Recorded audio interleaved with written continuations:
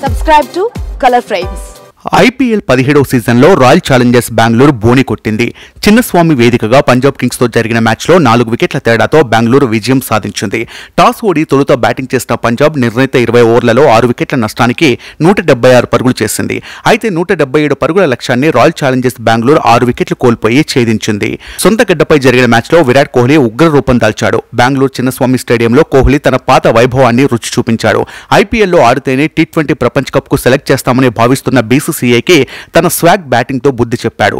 నాకు ప్రపంచ కప్ అవసరం లేదు. ప్రపంచ కప్ కే నా అవసరం ఉంటుందని ప్రూవ్ చేశాడు. ఇది కదా కోహ్లీ నుంచి ఫ్యాన్స్ ఎక్స్పెక్ట్ చేసేది. కోహ్లీ అనంతరం దినేష్ కార్తిక్ మరియు మహిపాల్ లోమ్రర్ తుఫాన్ బ్యాటింగ్ చేసి ఈ సీజన్లో ఆర్సీబీకి తొలి విజయాన్ని అందించారు.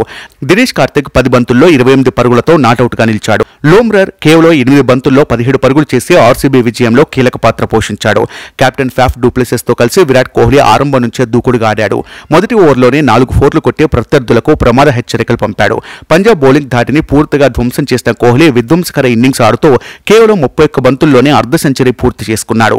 ఈ ఫిఫ్టీతో టీ ట్వంటీ క్రికెట్లో ఇప్పటి వరకు ఏ భారత బ్యాట్స్మెన్ చేరుకోలేని మరో మైలురాయిని కోహ్లీ సాధించాడు. టీ ట్వంటీ క్రికెట్లో యాభైకి పైగా వంద సార్లు స్కోర్ చేసిన తొలి భారతీయ బ్యాట్స్మెన్గా కోహ్లీ నిలిచాడు.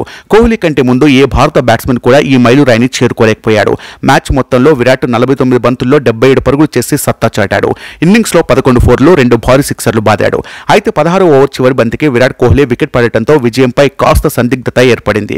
తర్వాత నాలుగు ఓవర్లలో నలభై ఏడు పరుగులు చేయాల్సి ఉండగా క్రీజ్లో సరైన బ్యాట్స్మెన్ ఎవ్వరూ లేకపోవడంతో ఓటమి భయం ఆర్సీబీని వెంటాడింది. కోహ్లీ అవుట్ అయిన తర్వాత ది ఫినిషర్ దినేష్ కార్తిక్ క్రీజ్లోకి వచ్చాడు. అయితే దినేష్ కార్తిక్ క్రీజ్లోకి రాగానే అనుజ్ రావత్ కూడా పెవిలియన్ బాట పట్టాడు. కార్తిక్కు మహిపాల్ లోమ్రర్ మద్దతు లభించింది. లోమ్రర్ మరియు కార్తిక్ ఇద్దరు జట్టు భారాన్ని భుజాలపై వేసుకుని పోరాడారు. చివరి ఓవర్లో పది పరుగులు అవసరం పడింది. హర్షదీప్ సింగ్ బౌలింగ్లో డీకే తొలి బంతిని బౌండరీ లైన్ దాటించాడు తర్వాతి బంతి వైడ్గా టర్న్ తీసుకుంది. ఆ సమయంలో ఆర్సీబీ విజయానికి ఐదు బంతుల్లో మూడు పరుగులు చేయాల్సి ఉండగా డీకే ఫోర్ బాది ఆర్సీబీకి తొలి విజయాన్ని అందించాడు.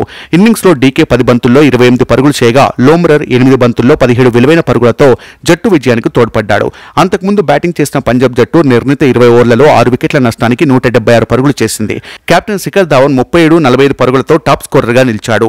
ప్రభ్ సిమ్రాన్ సింగ్ ఇరవై ఐదు జితేష్ శర్మ ఇరవై ఏడు శ్యామ్ కరణ్ ఇరవై మూడు శశాంక్ సింగ్ ఇరవై ఒకటి లియామ్ లివింగ్స్టోన్ పదిహేడు పరుగులతో ఆకట్టుకున్నారు.